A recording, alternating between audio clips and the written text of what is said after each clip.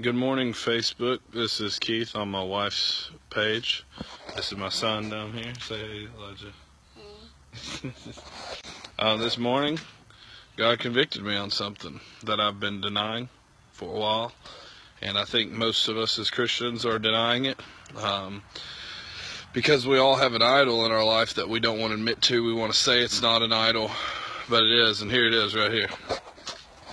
This is called a television. Yes, I still have a computer. Um, still have a computer, and I'm going to use the uh, computer for the glory of God. And uh, but something that we have been convicted on. Uh, we said we don't want the TV in the house, so we put it in the back room. But then we end up taking it out of the back room and watching TV all day or playing video games. And uh, as a man of God, I should not have anything that's getting in my way or my family's way. I've seen my son, just like many other people, getting caught up in playing video games all day, uh, which I shouldn't have even put in his life in the first place. So I'm repenting today, and he's repenting with me. And um, yeah, God just heavily convicted me this morning. And I just started weeping. Uh, all kinds of Satanists have said over and over again how thankful they are for the television because it is the introduction to the religion of Satanism into the homes of Christians. And you know, you can write that off all you want, but what kind of filth do you watch? What kind of garbage do you watch because you've allowed it in your house? Uh, you can't say you're sanctified by the Holy Ghost and uh, be watching the sorry garbage that's on uh, TV today. Uh, it's nothing but filth. It's full of the devil, and I've seen how it infiltrates our lives. Anyways, put the put the TV in the back room, and said we'll just pull it out occasionally uh, I'm just going to put it out, you know, just occasionally. And uh, what happens is we keep pulling out and spending all this time. I was playing a video game, and I don't play video games, but there was this one some of my friends was telling me I should play, and I kept justifying there were some things in it.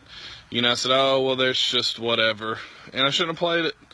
And I got involved in it, and wanted to beat it, and I would get up early or late at night and play it when fam family wasn't around, so I wasn't being a distraction. And uh, spent more time on that than I, uh, I could have been spending more time with God. So God showed me that this is an idol in my life, and I think most of us would be honest, it's an idol in our lives. And so today, me and my son are repenting. Here he is down here. This this morning, he comes walking in the room and said, "What are you doing?" I said, "Son, I'm sorry, but I'm smashing our idol." And uh, he said, what's that? And I said, the TV. And he, I saw tears in his eyes. And that made me realize even more why I need to do this. That if my son's going to cry over a stupid TV, um, then I have not done my job as a parent. And, uh, and I said to him, I said, son, we need to spend more time with Jesus, less time on the TV. And he said, Daddy, I've been thinking.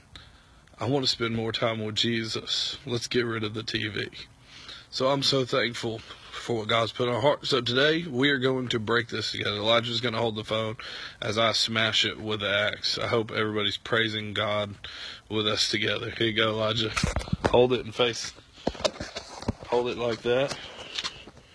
Right there. And I'm going to smash it. Hold it right there. Just like that.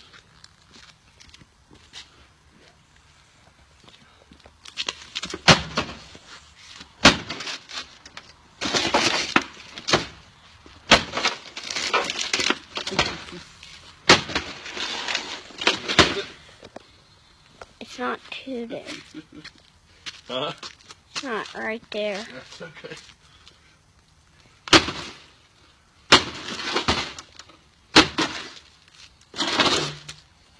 I don't think that's gonna work again. Did you get it? There it is now.